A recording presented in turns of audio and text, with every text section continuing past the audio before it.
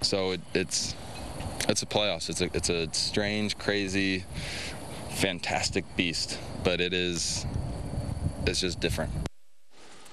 That's the MLS playoffs, but for Tally Hall and the Dynamo, a first round loss would be even stranger, crazier, and far less fantastic. Two years in a row, Houston has advanced to the MLS Cup. And to make it three, the Dynamo would have to knock out an impact team that knocked them down during the season. Knockout round of the playoffs, Montreal outscored Houston 7 to 1 in three games this season.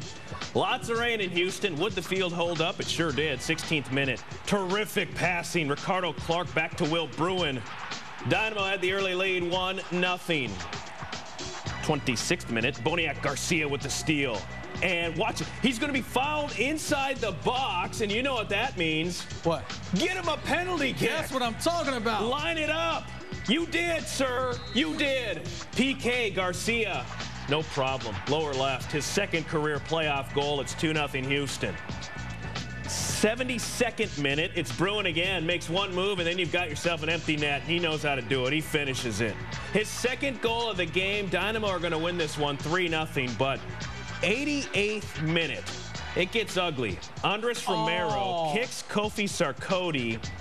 Impact star Marco Di Vaio, one of three Montreal players kicked out. Dynamo do win it 3 0. They'll play the New York Red Bulls in the Eastern Conference semifinals. Afterward, Dynamo defender Corey Ashe on mixing it up with Di Vaio. He had been chirping in my ear the whole time. I knew he was frustrated. You know, it was fine until he took a swipe at me. Obviously, you can kind of see, I, you know, I got scratched on my neck. It's the playoffs. You know, I, I don't expect anything less.